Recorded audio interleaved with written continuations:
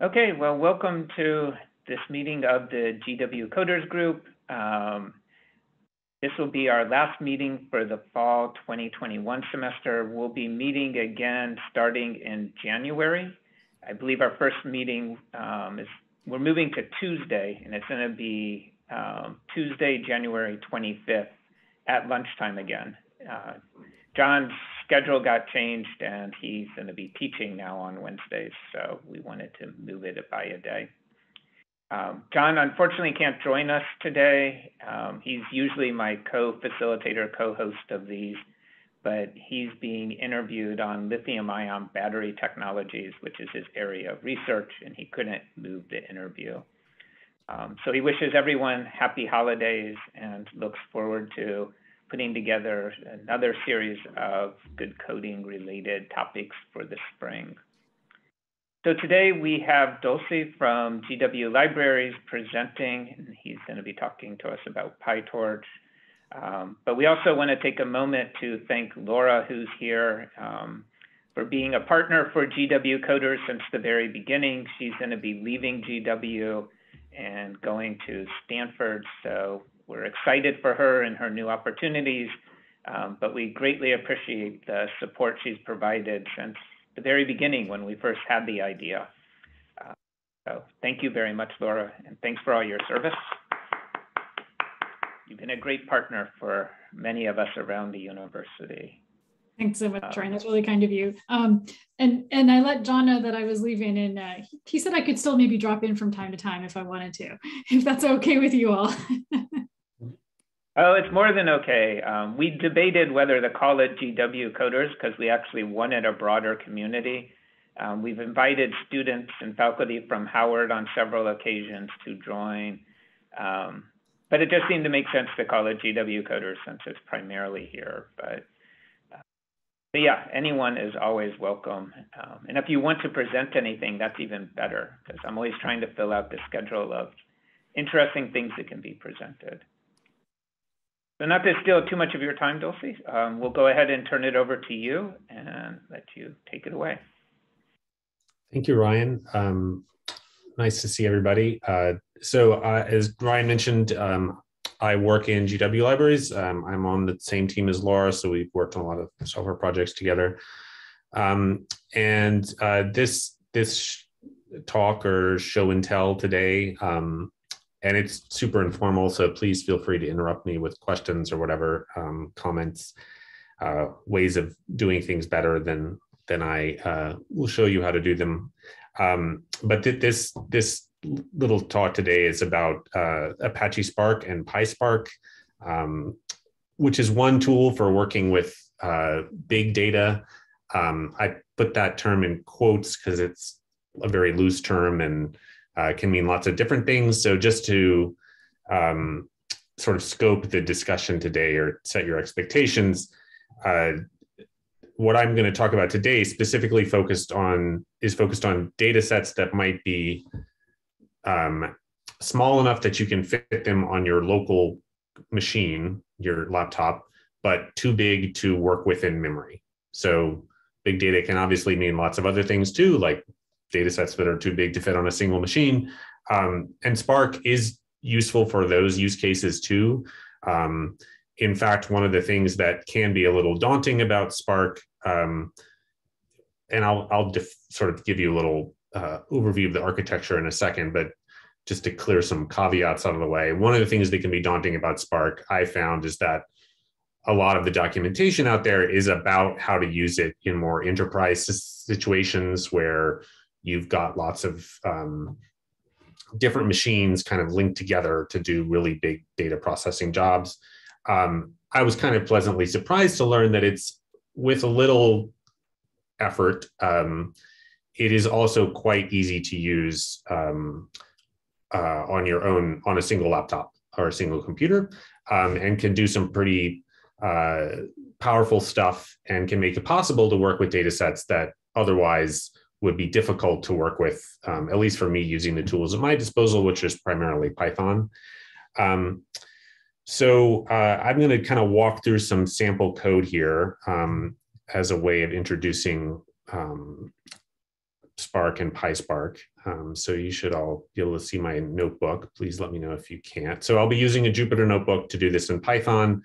Um, Spark is not a Python uh, specific tool. Um, it's actually, um, I guess the proper term for it is it's a uh, data analysis engine.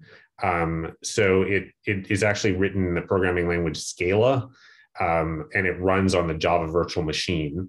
Um, but it has these sort of interfaces to Python and also to the R language.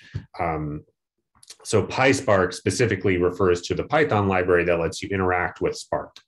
Um, so when you work with PySpark, the computation is actually being done by this, this Spark uh, engine that is running basically uh, as Java uh, bytecode on your computer, um, but you don't have to write any Java or any Scala to do that. You can write Python, um, or you can actually write SQL, as, as I'll show you.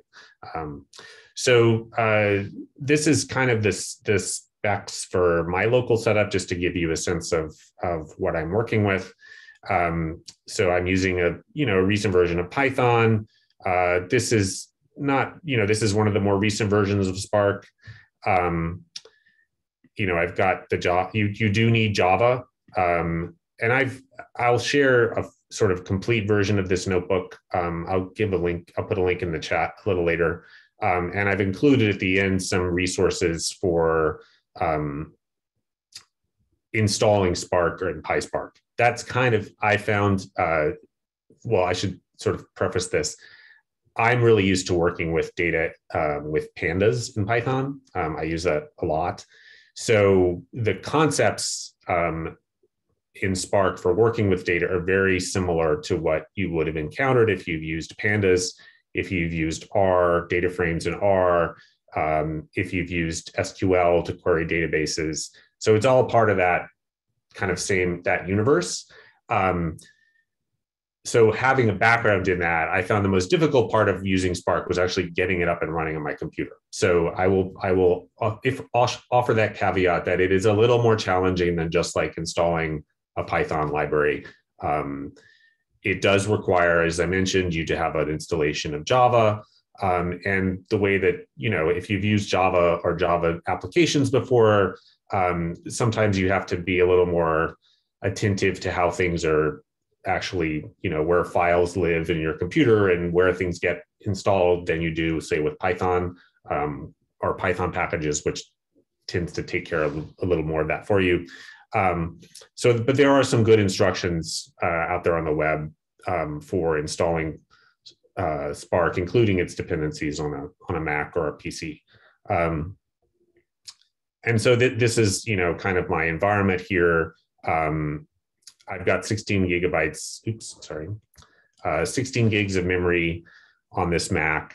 And the data set I'm working with, uh, as an example, is actually 26 gigs. So not not huge, um, but but too big to um, actually load into a pandas data frame uh, because it won't fit into my memory. Um, and it, that translates to about a thousand files. Um, and so what is this data set just to kind of um, round out the background here. Um, this is just a bunch of tweets. Uh, I got them from our TweetSets application, which if um, I'll just put this in the chat. Uh, if this is um, open to anybody um, on the GW uh, IP network um, or off campus, if you can use the GW VPN, um, it's part of our uh, project for collecting um, social media data. So TweetSets um, at this point is up to about a billion, a billion and a half tweets total, um, organized into various collections. Um, and the collection I'm working today is a subset of our coronavirus collection, uh, which is uh, at this count, at this point, um, 350 million tweets. So that's about, that whole collection is about a terabyte um, on disk. I'm not using the full terabyte. Um, I'm just using a, a, relatively small subset of it. Um, but these are these are all uh, gzipped files in in what's called JSON-L format. So if you're familiar with JSON, this is just each line of the file as a JSON document. Um, that's JavaScript object notation if you're not familiar with that. And that's basically the format that the Twitter API returns. So these are tweets harvested from the Twitter API um, that all, you know, have, uh, I think the, the filter is like something, you know, any tweet with the text coronavirus or COVID or like one of those hashtags. Um, collected over about uh, I think since the start of the I think we started collecting at the start of the pandemic. So um, really interesting data set. Um, and a good example of the kind of thing that you know if you wanted to analyze this um, and you didn't already have kind of access to um, you know a computing cluster or something like that uh, you might have some difficulty doing so on your local machine and, and that's where something like spark can help out um, so uh, just to, I'll I'll gloss over this for now. Um, there are th- this is just some more settings that I had to. Um, this is related to the Spark and Java installation. So I mentioned you kind of having to tweak some of your computer's settings. So these are some variables um, on a Mac. This would go in the Bash profile um, to make make sure your computer can find the Java virtual machine and that it knows where Spark is installed. Um, I'm not going to go through installing Spark uh, because that would kind of be a an hour in of itself potentially. Um, but if you know if you have questions, if you want to do this on your own and you have questions, I'm happy to try to help you as far as I can. Um, I'm certainly no expert on on uh, the installation piece, but um, I'm happy to help you try to muddle through. Um, so, but this computer already has Spark and PySpark installed. Um, so moving into kind of what, you know, the, the meat of this, like what, why would we use Spark um, as opposed to some other tool? Um, so for imagining for a moment, I have these, I didn't have access to Spark and I wanted to work with these, these 26 gigabytes of JSON documents, JSON L documents um, this would be kind of this code here is kind of like a naive, so to speak, approach in Python. Basically, we, you know, would write a function that could loop over a list of files, um, open each file, loop over the lines in the file, and in this case, just increment a counter. So all this function does would is to count the number of tweets total in this collection. Um, and I'm just going to get, I'm not going to run this because um, I'm not going to run the actual function uh, because it, I did run it as a test and it took 11 minutes to process these thousand top files. So like that's, that's not um, super ideal, right? I mean, it does come back with an accurate result. So it tells me that in that collection, um, I've got uh, 26 million tweets. Um, but if you can imagine wanting to actually do some analysis on these tweets as opposed to just count them, right? Um, especially kind of like an iterative analysis where, you know, like I don't really know what's in this data set. So I want to try out some different kinds of ways of counting this or um, aggregating the data. Um, you know, I would have to run this kind of function, modify it, run it, modify it, run it. That would be very slow. And also, it would get very complicated um, if I wanted to do something like aggregate over the the tweets, you know, um, for instance, I might want to do something like this, right? This table um, is showing, you know, the the the top most retweeted tweets in the data set. So to do that, I have to like aggregate over the the text of the tweets, and then you know take the maximum retweet the, this retweet count is a field in the in the Twitter um, documents you get back from the API. Tells you how many time a particular tweet has been retweeted. Um, you know, so I'd have to basically group by the tweet text and then do this aggregation on it, um, and do that across multiple different files.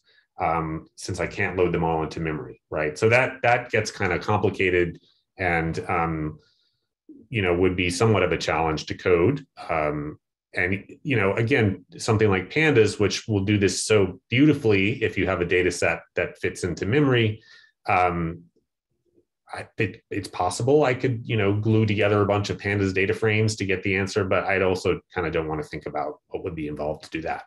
Um, pandas really shines again on a on a data set that is smaller than your available RAM, and on the data set that's bigger than your available RAM, it's really not, you know, it doesn't have a lot of um, features to help you with that. So that's where Spark in this case comes in. Um, so let me kind of, I'm going to do some code. I'm going to write some code and run it here um, to show you, kind of walk you through um, sort of basics of, of using Spark to work with this data set. Um, and again, please interrupt me as you have questions. Um, the first thing I'm doing here is using this little library called FindSpark. Um, all FindSpark does is actually what it what its name suggests. It finds where this where Spark is installed on your computer because remember Spark is not a Python library. It's a sort of totally separate application. Um, and so FindSpark kind of like has some logic to look in the right places and um, it's particularly useful when you're using a Jupyter notebook um, to, to connect your Jupyter notebook, uh, to connect the Python kernel that's running your Jupyter notebook to this um, installation of Spark. So once we've sort of found it, then we can import from PySpark um, a few things that we will, a few um, classes we'll need to actually um, send commands to the Spark engine. So PySpark, um, again, is already installed as a Python library that provides the actual interface. Um, PySpark SQL is, is this sort of API for Spark um, that's available in version two and above. So it's not available in Spark version one. Um, and it's the thing that provides this very um, data frame centric approach to using Spark. Um, so again, if you if you haven't used pandas in Python or if you haven't used R data frames, I apologize. That's really kind of my frame of reference here. Um, basically, it's a data table kind of structure um, modeled on a SQL database. Uh, oops, typo there. So once I've imported that, then I can actually, the first thing I need to do is actually create what's called a Spark session. And this is, um, and again, all this code is in is in a notebook I can share. So you don't have to like take notes or anything.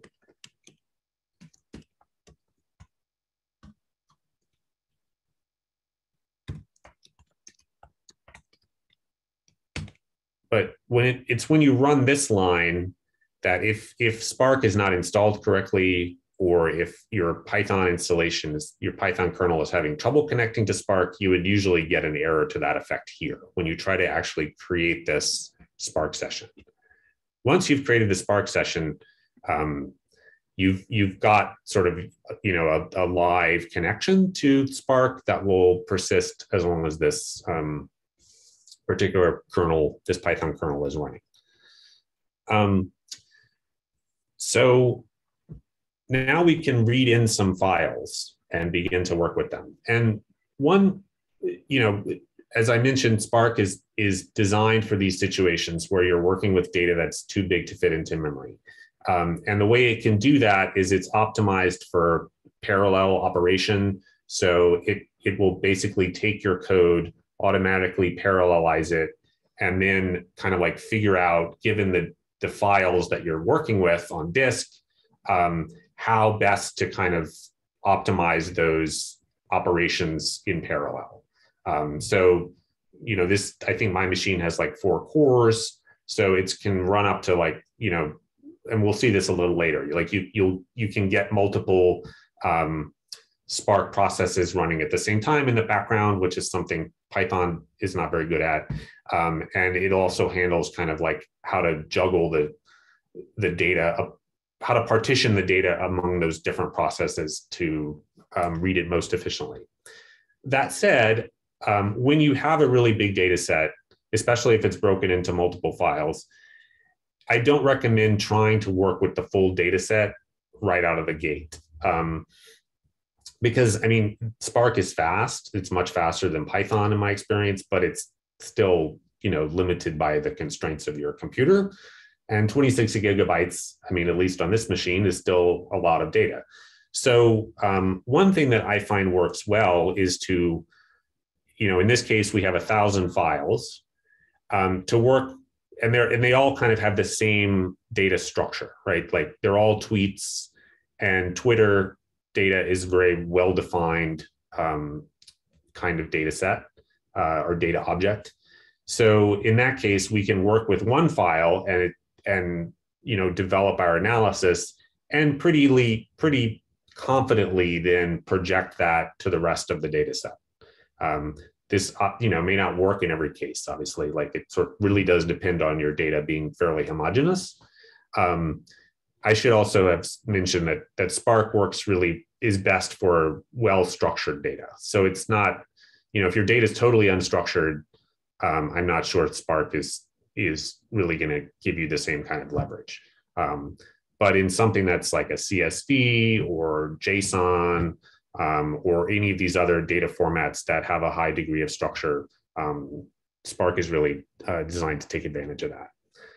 Um, so, and one of the ways that does that is by building a schema. So we'll see that in a second. Um, so I've got this list of files, which is, this is, these are all the files from my, my coronavirus Twitter set, um, the zipped files.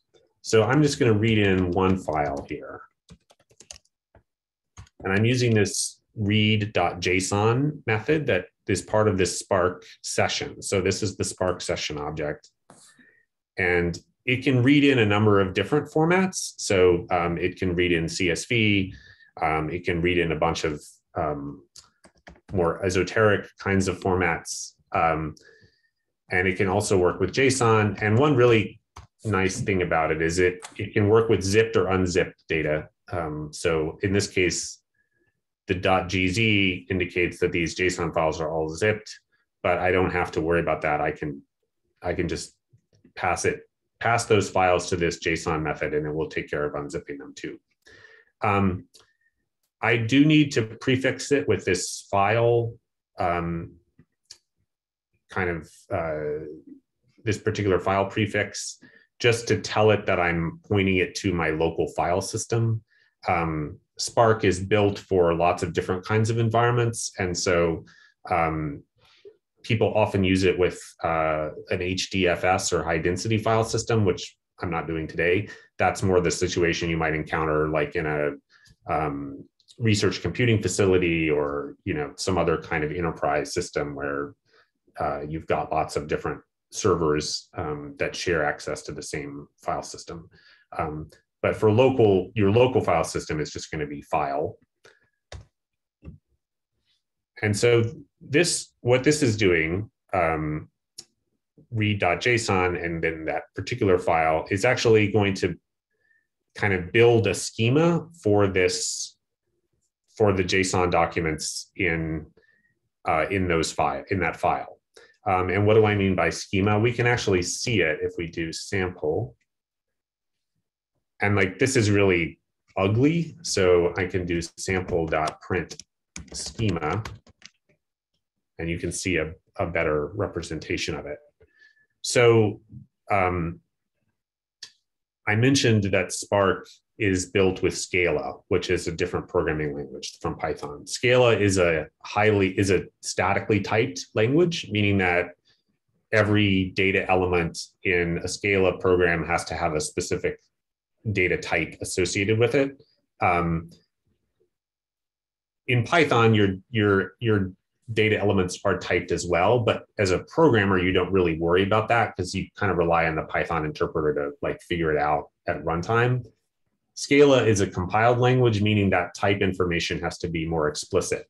So you can see here the schema is basically on the left side of the colon is the name of the field from the Twitter data from a Twitter document. And on the right side is the particular Scala type that it has assigned to that um, field. So every field gets a type. Um, and you can see that this the indentation shows the nesting of this schema. So this JSON can be, you know, arbitrarily nested. So you can have, you know, collections of things that contain sub collections that contain sub collections. Like it can get really deeply nested. And in fact, the Twitter Twitter's um, document model is pretty deeply nested. Uh, so Spark has has um, kind of like deduced this schema from the file that I gave it, and you know preserved all of the kind of nesting and also automatically de- decided what type, what data type each field should be. Um, in actually doing analysis, the data types are probably less, um, you know, it, that may be a little less important to you, but the nest, the the nested structure is actually really valuable um, and this is something that, like, say, a pandas data frame um, can't do, right? So, so Python pandas, um, and it might this might also be true of data frames in R, but I, I don't know that for a fact, um, are really designed for like flat data. So something that would be like a table, like a CSV. When it comes to data that's nested more deeply than that, they they don't have a whole lot of or at least Pandas doesn't have a whole lot of tools built in to handle that. Um, Spark, on the other hand, can handle arbitrarily nested data. So this is like, this is really cool um, if you are used to working with Twitter uh, JSON documents because there's a lot of information in here that's like really kind of buried um, in underneath some of these layers. And with Spark, you can actually get to it pretty easily, um, which we can we can see in a little bit. Um, so I can actually get a reference to this schema, which will come in handy later. Um, but one thing I'll just point out that one of the reasons for for working with a small sample um, is not only you know efficiency in developing your initial computations, but also to get the schema from it. So again, I'm pretty confident with Twitter data, assuming that in one any one given batch of uh, Twitter documents, at least within the same kind of collection, that's you know been data that's been collected with the same kind of parameters, that the documents in that batch will have the same schema as documents in other batches from that collection. So you know you notice that Spark took a few seconds to get to read this in, and that was mostly devoted to its sort of figuring out what the schema is. So because I have now done that, I can reuse this schema when working with the full data set. Um, and that actually saves a lot of time because if you do, if you, if you run this on your full data set, you know, in this case of 26 gigabytes, it's not, you know, it, it's going to need some time to figure out that schema because it's actually got to run through all 26 gigabytes, look at every file, look at all the JSON documents in all those files, and on the basis of that, come up with what it thinks the schema should be, as opposed to what we're doing, which is just asking it to look at a single file, which you know has however many tweets in it, figure out a schema, and then apply that schema to all the rest. Um, so this is a valuable um, method for working with big data in Spark. So now that we've got the schema and we've got their doc, our um, sample read in, we can start to actually do some, some computation. So I'm going to start with a super simple method, just count. So, and I can run this on, um, well, I, I should say first, what is sample at this point as the outcome of this read.json method? It's, it's what's called a Spark data frame. Um, so I can run the count method on a full data frame and it will just return how many rows are in that data frame. Um, so in this case, there's 73,000 tweets in this first sample. Now let's, we can get a little more um, complicated with the syntax. So let's say that we wanted to find out how many unique tweets were in there. So again, this requires you know knowledge of your your data set domain. But in this case, um, I know that there's this field called ID string in the tweets that has the, uh, that's a unique identifier that every tweet gets. So I'm using this select method, um, which can be used to select a, a single column or multiple, well, a single field or multiple fields from um, a Spark data frame the same way that in SQL, you can select a column or multiple columns from a table. So um, pandas uh, for Python users doesn't have a select statement the same way. So this is one example where while the pandas syntax and the Spark PySpark syntax are pretty close in some respects, um, they do diverge to the extent that uh, Spark syntax is based much more closely on actual SQL syntax, standard SQL syntax than pandas. Um, so you'll see some things here that, you know, if you've ever done written SQL queries will seem um, pretty familiar, and I think that's intentionally so. Um, so um, from the point of view of the designers of Spark. So I can select this column, and then I can run this distinct method to get just the unique values in it. Um, and then I can run the count method on those to get the, the count of distinct ID string uh, values. And you can see in, in Spark or in PySpark, it's quite common to kind of chain together um, things with the dot um, notation here.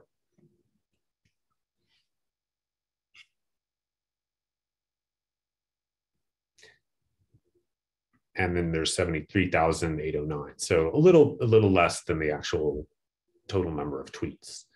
Um, this might seem you know, at this point, this may actually be running a little slower than if you were to do this on my computer with with just pandas in Python. Um, because again, it's not necessarily got this whole data set in memory.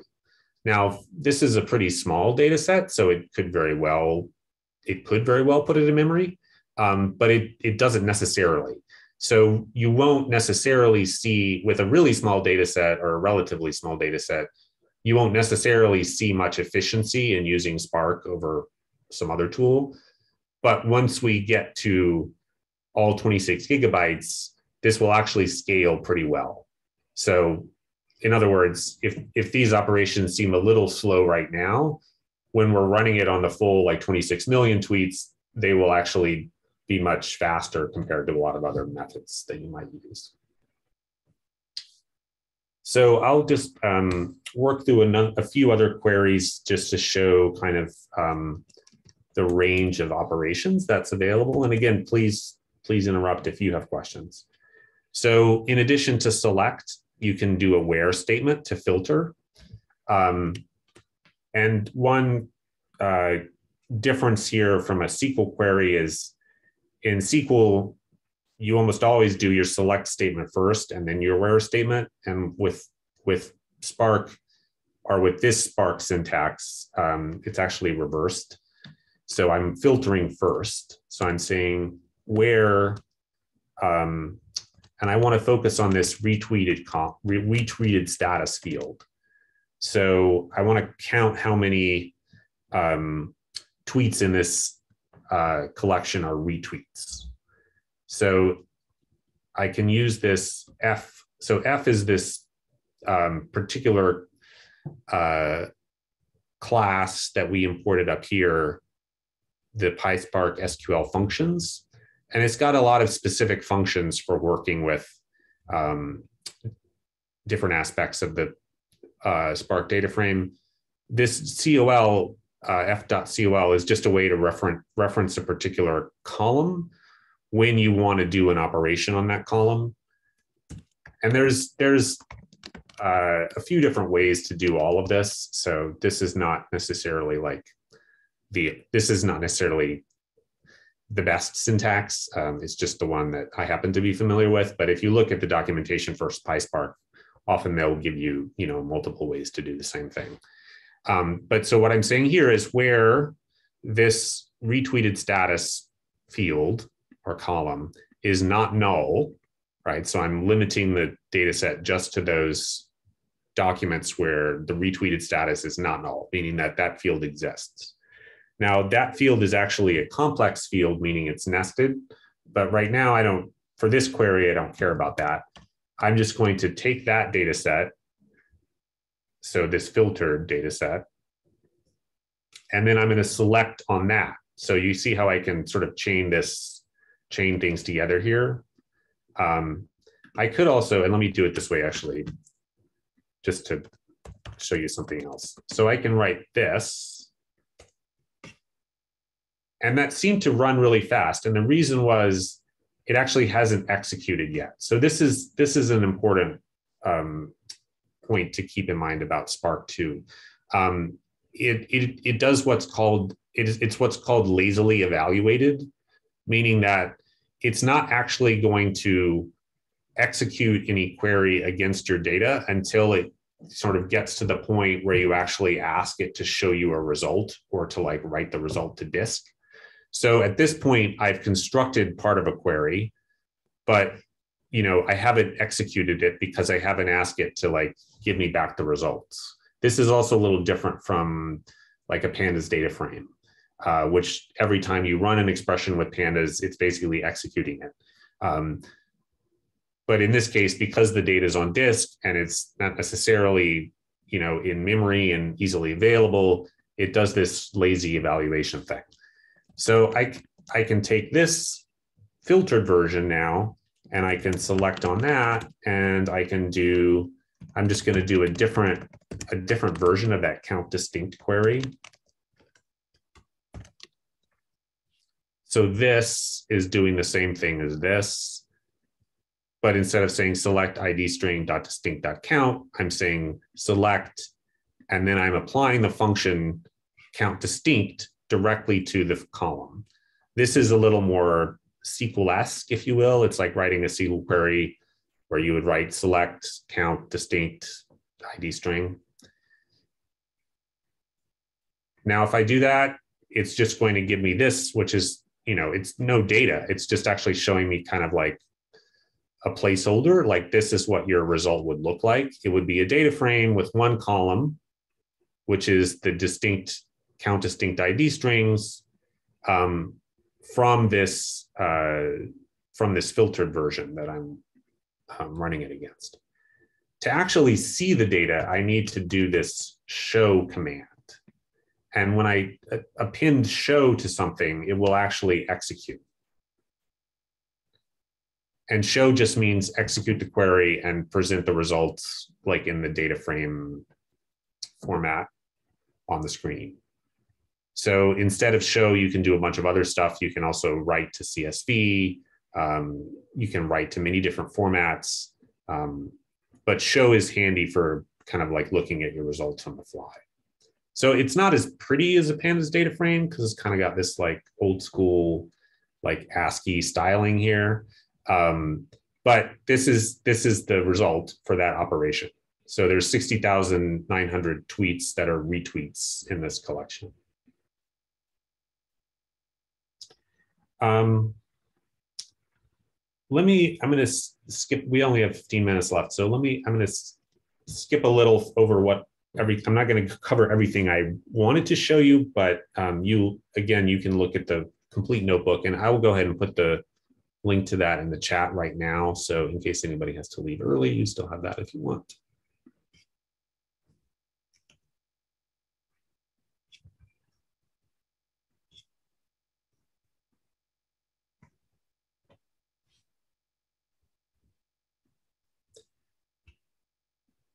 So um, i want to show you the explode function because that's that's I think pretty cool. So if you um, remember from our schema that I said there was a lot of nesting. So one of the nesting, one of the nested elements is actually the hashtags from the tweets. So root is like the document top level. So you can see entities is like a field on the root, meaning it's a top level field. And under entities, it's got this hashtags field. And hashtags is actually an array, meaning that in, in Spark terms, it's an array, meaning it it's like a list of things, um, right? So hashtags will be a list, and each element of this array of hashtags will have two fields. So the text, which is the hashtag, and then the indices, which are like the I'm not actually really sure what they refer to, maybe like the position in the tweet where the hashtag appears. Um, so what that would look like in practice, um, yikes, that's long, uh, would be something like this, you know, so it would be entities, and then under entities, you would have another struct or, you know, in Python terms, a dictionary, and then that itself would be like um, a list if we're talking Python or an array in, in Scala. And that list would contain uh, further objects, which Scala is going to call a struct.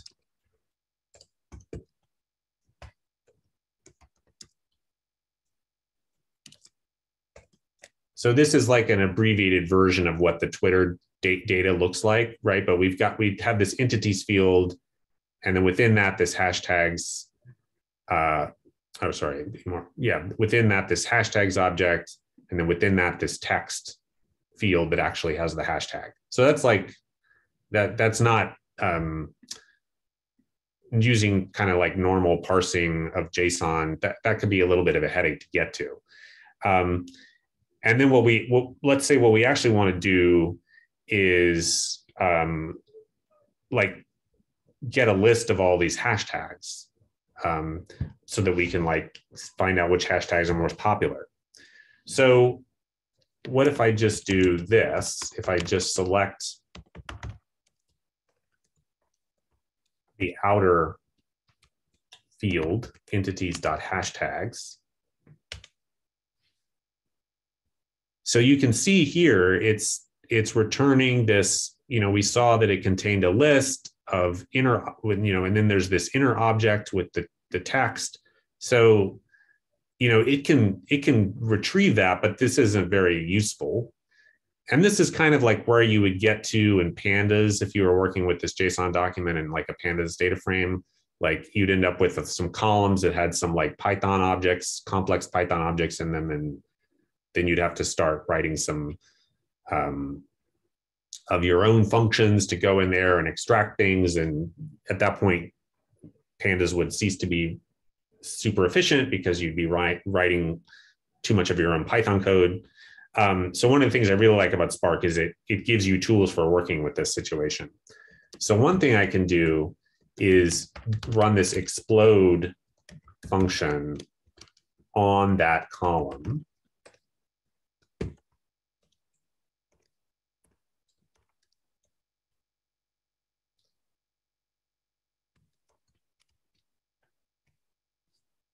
And what explode will do, it might not be immediately evident, but explode takes an array and creates a new row for each element in the array.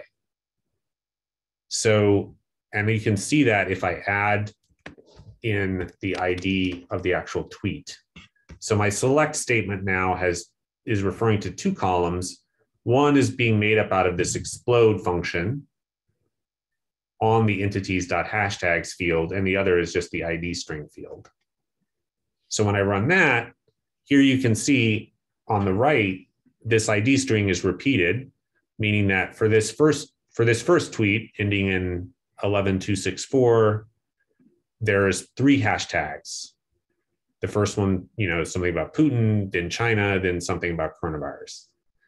Now we've we've still got this like other data inside the hashtag object that we don't really necessarily care about, like these these um, indices. So we can also get rid of that. Um, but but this explode function is really useful anytime your your nested data has arrays in it, like the Twitter the Twitter data does. Um, so just to show you kind of how we can, um, I'll just kind of finish out this query. Uh, so let's say we want to get we want to get the um, the actual hashtag text out of that object now that we've exploded. So sometimes this is a little easier to see what you're working with if instead of show, you use take. And take takes a number as the argument. And take will actually give you, instead of giving you a data frame, it gives you this other Spark structure. Um, I believe uh, the name of it is escaping me at the moment, but it's it's usually kind of like less useful for analysis, but it's better for actually seeing kind of like how the how how a particular row of your Spark data frame is put together. Because this is actually showing you the different um, elements that are in this row. So this is one row. It's got this row class. Um, within it, it's got this other row class that has these sort of subfields, indices, and text. And then it's got this ID string as another column. So this is one column, and it's kind of like you can think of it as a nested column, and then this is another column. So based on that, I can actually write, let's do this now. Um, so I'll, I'll assign this to a hashtags variable, and then I'll say hashtags dot select. And again, I think this is just, this is pretty neat. So I can actually select this nested sub column of my so you know so this basically creates a structure like this with with a column that's that's got a, a sort of nested underneath it indices and text i can select just the text part now by doing col.text and col is just the name it happened to give this column when i exploded it it just you you could there's another function you can use called alias to rename the column when you explode it um, if you don't do that, it'll just name it COL by default. So I can refer to that and its subcolumn with the dot notation. So I can say select ID string and then col dot text and then show. And now it pulls out the text. We can confirm it's the same data because we've got this first tweet 11264 appearing three times, just as though we did up here. But then instead of seeing all this extra stuff, we're just seeing the hashtags. So, and now at this point, we could build on that and use this to like group on the hashtags and do some aggregation. Um, so that was going to be the next thing I showed you. We only have like five minutes, so I'll probably just leave that time for questions. Um, but I'll, if you if you're interested, uh, the rest of the notebook um, I mean, this isn't a terribly complex example, but it just walks through how to do some aggregations on the Twitter data um, and uh, how to run these queries on the full data set um, once you've kind of finalized your, once you've kind of fine tuned your queries on the sample, how to then just run it on the full data set. Um, Spark has some nice built-in monitoring tools that can help you uh, when you're running it on something of you know like 26 gigabytes or bigger that can take a few minutes. Um, it's got an interface. You can kind of watch the progress of the spark engine and it'll actually you know if you get really interested in working with spark and work on even bigger data sets and in environments where you really need to be optimized um, it gives you lots of tools for optimizing things. Um, i've only kind of scratched the surface there but um, it's it's a quite quite a powerful tool. We actually use it in our TweetSets application that I mentioned at the beginning um, in that more kind of enterprise situation. So uh, we have we have a few different connected uh, virtual machines that run run a, run Spark jobs in a cluster um, to to process the tweets when we ingest them, um, and that's ended up making our application a lot more efficient than it would be otherwise. Um, so it's great for stuff like that, but it also is is pretty good just for um, kind of like one-off analysis if you happen to be working with a data set that's too big to fit into memory. so let me um, stop there and see if anybody has any questions or comments or any any other announcements or anything.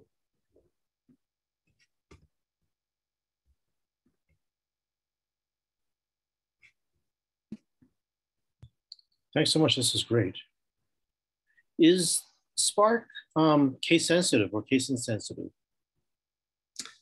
Um, which what do you mean in terms of the column names or Yeah, or, or actually like in terms of like you've now got results returned and you wanted to group. Do you have to group or flatten first into like all the same type of case? uh yeah if you wanted to group on on um on say hashtag you you would probably need to do that um it, it has some uh, function, lots of string functions you can use. Um, and in fact, one of the things that I was, you can see in the notebook um, uh, that I shared, you can write, this is, what I did was writing, write, wrote these queries using kind of like the PySpark functions. You can write the same queries in your, in Python, you know, in your Python environment as SQL queries using pretty standard SQL syntax and have Spark execute that SQL um, and do the same thing. And I've found that for more complex queries, it actually is a little, I find it because I've had, you know, some practice with SQL in the past. Um, I find it a little more efficient to do that because you can write just like kind of like one block of SQL code that, you know, does all these different transformations um, as opposed to stringing together a bunch of individual Python functions like this. Um, but the uh, the Spark uh, functions are documented uh, pretty well, um, and you know pretty much anything you can do, like in a SQL database, uh, the same sorts of functions are available in Spark, along with some additional ones that make working with this nested data more um, make that easier. Um, the one thing that you know you will you will encounter when looking through documentation about Spark or reading about people's use cases. The one caveat to keep in mind is it's important to, as much as you can, rely on the predefined Spark functions. And you can compose these in pretty complex ways, like our, our TweetSets um, ingest process the SQL, the query for that is like pretty complicated because we're dealing with a whole bunch of different fields and we need to like unpack some of these arrays and transform them in different ways. And I was able to get all that working with just the Spark functions. You can also have Spark run functions that like you define yourself in Python. But the caveat there is that those will be much slower because when you're just using Spark functions, basically, you know, all of this, because these are all Spark functions, all of this is just telling the Spark engine, okay, here's what I want the query to do. And then it has this whole like query optimizer that will come up with the right query. And all of that will then be compiled into, you know, translated into Scala code and then compiled into Java bytecode and then run on the Java virtual machine. So, you know, that that's pretty fast if you write your custom Python function and tell Spark to run it, it's going to have to kind of like work with the Python interpreter. So it's not going to be able to parallelize as efficiently. Um, so there, I think there are cases, you know, where the built the native Scala functions, the Spark functions don't don't do what you need, and sometimes it's unavoidable to do something like um, write your own Python function. But but people do warn against doing that if you can. And just to get an idea of the time differences. So earlier you showed that uh, if you were to run the query against the 26 gigs, it was going to take 11 minutes just to count the numbers. Yeah. Once you, so if you take that file and expand it to, instead of just the sample file, but do the full data set file, what would be the similar for Spark to do that same count? Um, I think it. I didn't record just for the count. I think it does it in like a couple minutes. Um, I had some queries uh, like um, doing this query. Well, I didn't finish out the query, but like grouping by hashtag. Did I do that one? Um, not sure I did that one full data set. Uh, but I, I, did do some like grouping and aggregating across the full data set on, on a few different um, fields, which you can see in the notebook. Um, and everything was generally under 10 minutes. Um, so like, you know, if you're working with like a terabyte of data, it's still going to take some time. Um, yeah. But it, it is, you know, in my experience, much faster than trying to do it uh, with just Python code. Um, and and and the other advantage is that it it you know you don't have to kind of reinvent the wheel. Like it it I I wouldn't know off the top of my head how to do a group by aggregation for data that doesn't fit into memory just using Python, right? Like you'd have to figure out okay, like how do I handle these all these intermediate steps, right? Of like I look at a file, I figure out what the groups are. I'm going to look at another file. I have to update my groups. Like working with stuff where you have to work with multiple files and you can't load them all into one big blob in memory um, really increases the complexity of your code. And so one of the advantages of Spark, apart from the speed, is that it it hides a lot of that complexity from you and gives you an interface where you can basically act as though um, your data was all in memory um, or act as though you had it all in a SQL database. I, I, guess I should say that would be kind of like the, I guess the pre-Spark version of working with, you know, a, a pre-Spark approach to working with 26 gigabytes of data would be to like ingest it into an SQL database and query the database. But you know, then you'd have to figure out like how to what your database schema is and all that. Whereas Spark also does that part for you too, which is um, makes life much easier. Oh, John joined us, by the way. so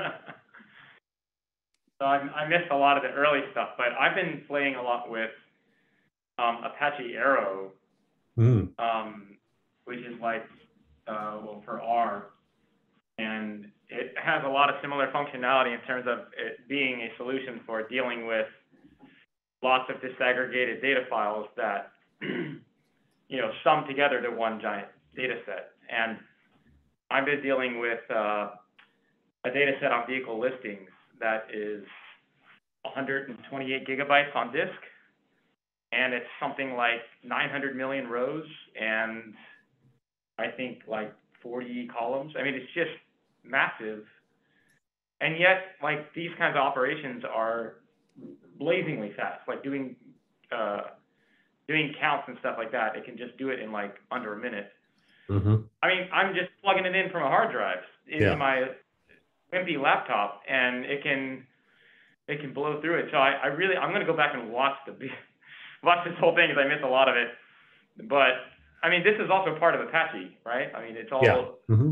this is I think what Apache is doing is incredible for dealing with larger and larger data sets, especially ones that are you know broken up into lots of different files. It's I I I was also using SQL on this for the previous year until I discovered that, and then I said, oh, I don't need to use SQL at all anymore. I mean, I can just do it all off a little hard drive. Yeah, thanks for sharing that. I, I have heard, I haven't used Apache Arrow, but I've often heard it mentioned in similar contexts. Um, there is also a Spark interface for R. It's called Spark R. Um, not being an R user, I've never used it, but um, I imagine it would work somewhat similar to PySpark. I think maybe one of the differences is this. I think a lot of Spark is designed for data sets or data that is like not on some local hard drive. It's like it's in a cloud somewhere, right? And then you can you can pull down different. You can do queries to the cloud. I think that's my understanding is like it was designed sort of for that, where everything is like disaggregated, and then you can send these commands to like a cloud computer that is going to process everything very very fast. Um, yeah. All right. Yeah. Which is different, I think, when maybe from Arrow. Okay, Very cool. yeah. Maybe I'll do one on Arrow in the spring. That'd be Oh, cool. I'll put you down for it. I'm learning a lot about it, yeah. Okay, I'm gonna hit stop on the record.